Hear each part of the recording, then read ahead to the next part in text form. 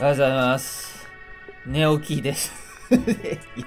なんか朝起きたら、12時から、なんかモンストニュースフラッシュって、緊急やりますっていうことで、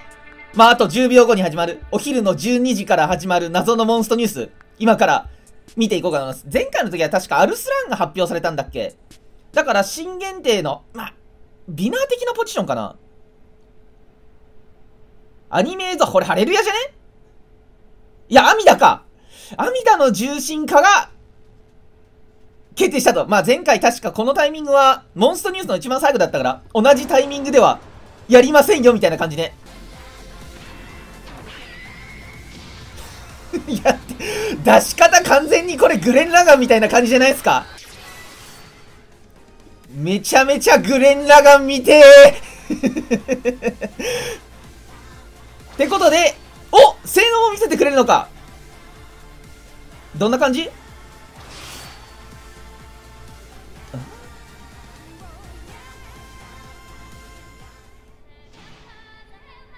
お友情も全部見せてくれる系？まあ、ツインインボリュートだから、ここパワースイッチだから。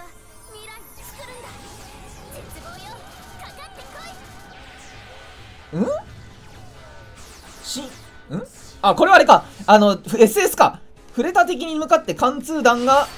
おー、おー、リツイートっすね。なわけで、アミダの性能、さすがにリアルタイムだと、わけわかんなかったんで、しっかり見ていこうと思うんですけど、まず、貫通のアジンのバランス型だね。で、あと、新しく種族。これ見せてくれるようになってるから、もしかしたら今後のなんか重心化回とかそういうキャラ性能を見せるときにも、種族は見せてくれるようになったのかもしんない。あとは超バランスにできて、有利属性の倍率も上げられますよ。で、アンチアビは超ダメオに超マイン EL?3 体目だったっけ？超マインの EL って。で、アンチ減速壁もらって、神化がベースになってるけど、進化の要素もちょっとはもらってるよ。で、神化にもあったドレインがそのままあって、まあ4つアビリティもらってるっていう感じだね。いけるところはだから近畿の25と、やっぱ満員減速で貫通だけど、天魔4いける。あとはまあ殴りの強さがどれぐらいになるのかはわかんないけど、殴りの強さによっては、全然、その天魔4貫通だけど、いけちゃったりみたいなのあるんじゃないかな。超満員の殴りとかもあったりするから、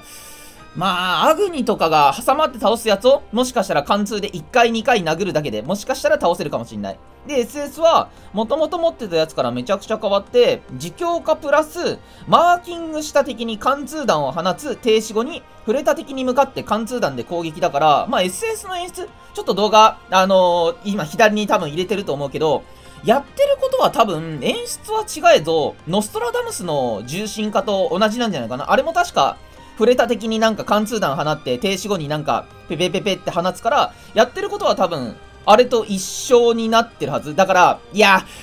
アミダ特有のあの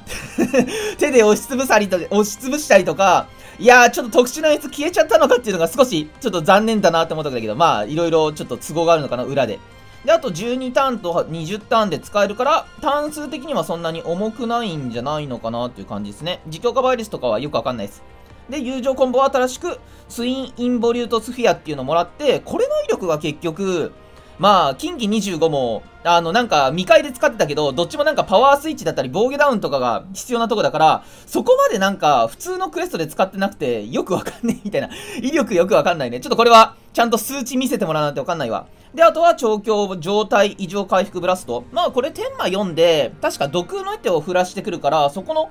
回復として連れてったら役に立つんじゃないのかなっていう感じですね。まあドレインでヒットポイントの回復もできる状態上もブラストで直せるよってことで1体組み込んどくとある程度はそういうところ対応できるんじゃないのかな。でね、友情の威力よくわかんないわって言ったんですけどちょっとわかりそうな部分があったんでそれちょっと皆様と見ていこうと思います。それがこの右上のスプリッツァーですね。こいつには、ツインインボリュートスフィアしか当たらなかったんで、こいつの与えたダメージ見ていただきたいですね。だから今ちょっと動画始めます。はい。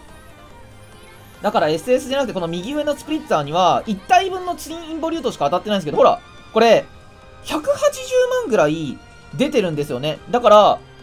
やべえ あれやばい。一応超バランス乗ってるし、まあ遊撃もついてるから、あの、ある程度は盛られてる威力になってると思うんですけど、それ考えても、インボリュート1列、1列分当たっただけで、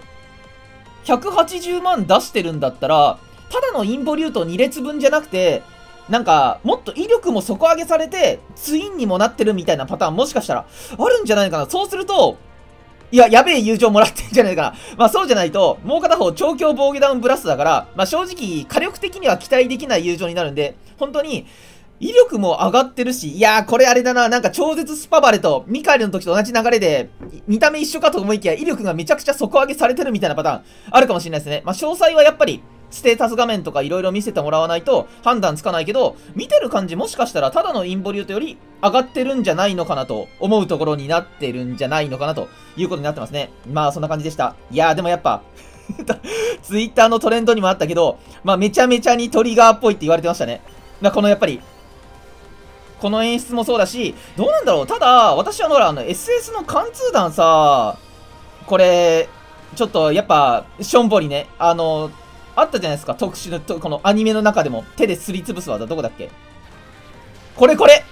ここの映像、これやってくれるんだったら、もうね、神化のイラスト違いでもいいから、いやー、ちょっと、そっちの方の演出が見たかったな、みたいな気持ちある。まあ、貫通弾がぶっ壊れだったら貫通弾でよかったってなるんですけど、まあちょっと、その辺、やっぱいろいろ貫通弾の威力とか、ツインインボリュートの威力とか、まだまだ未知数なところがあるんで、これだけだとちょっと強いか、まあ強そうな雰囲気は醸し出してる。まああとは超減速になってないから、その分もやっぱり攻撃力は多少は盛られるんじゃないのかな。もともとの神化が3万だったんで、3万2000とか、もらえてくれると嬉しいかなと思いますね。まあそんな感じでした。じゃあ4時からモンストニュース続きが始まるということで、そこでは新春のいろいろな発表、まあそういうのがありますよということで、まあ4時にまた会いましょうということで終わります。ごきげんよう。